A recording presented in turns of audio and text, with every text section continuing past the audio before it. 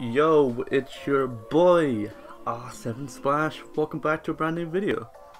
And today I want to discuss something that's been, been widely talked about for the most part.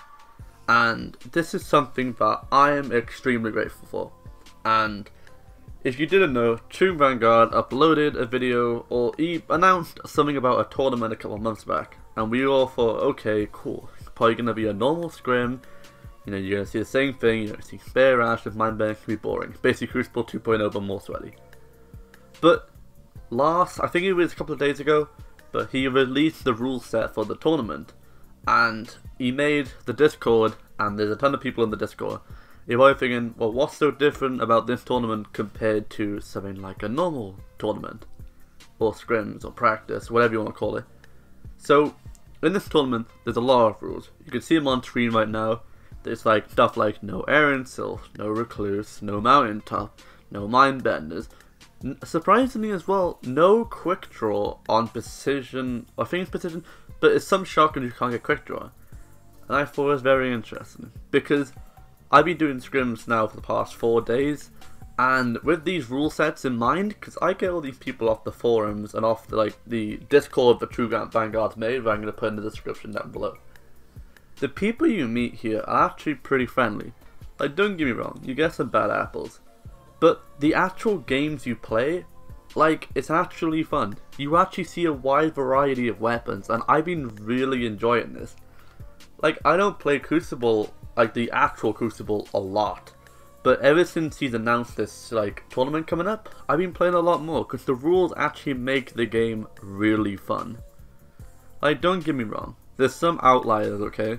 Like, I'll point one out right now. But please, do not abuse this. Don't be a bad apple in this tournament. Let's keep it fun for everyone.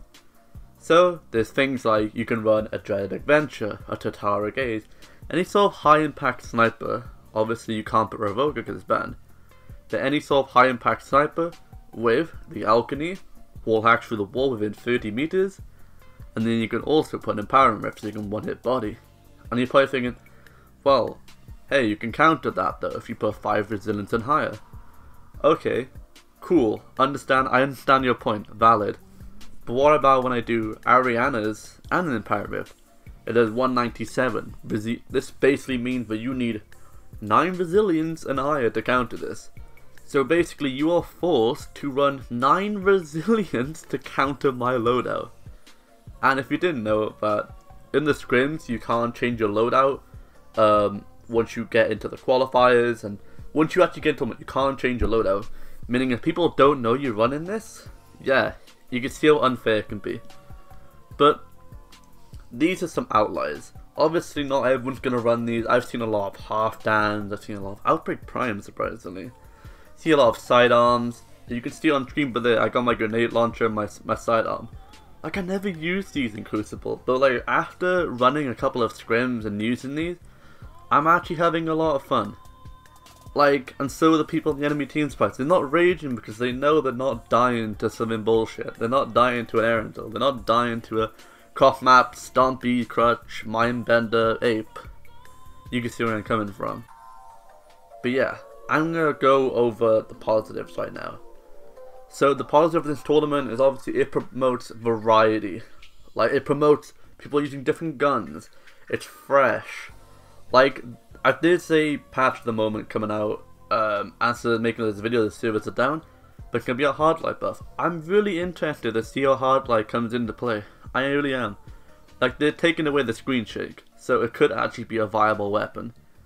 Like, in the tournaments, I've seen Skyburners, I've seen Cold Hearts, I've seen Prometheus Lens, I've seen so many different types of guns and the people you meet through this Discord are honestly so awesome. Like, I've probably met at least 10 people already. And, True Vanguard, I've messaged you on Discord. I've added you. Please, happy, add me. okay, putting that aside.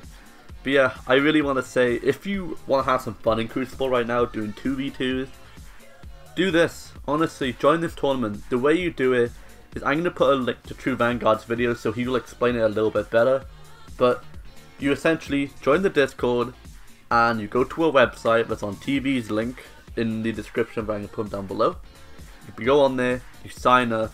What happens is next month when he's doing the event, you need one person on your team streaming, and yeah, there, there's some little bits you gotta be 18, etc., etc. But honestly, join the Discord, and there's a section that says um, it's like fine scrims or something like that. It's, it's basically the fine 2v2s and fine matchups, and this is how you practice.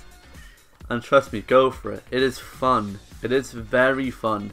Like you meet a lot of amazing. Like you can see on screen, my friend's running sweet business. Like look at this. You never see these in scrims. But yeah, okay, I'm starting to repeat myself. I'm gonna end the video there. I love you all so so much.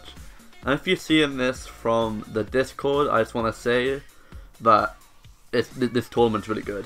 Some outliers, but I'm not going to be negative. I'm not going to give some of the secrets away, because I don't want people using them. So I'm not going to tell people.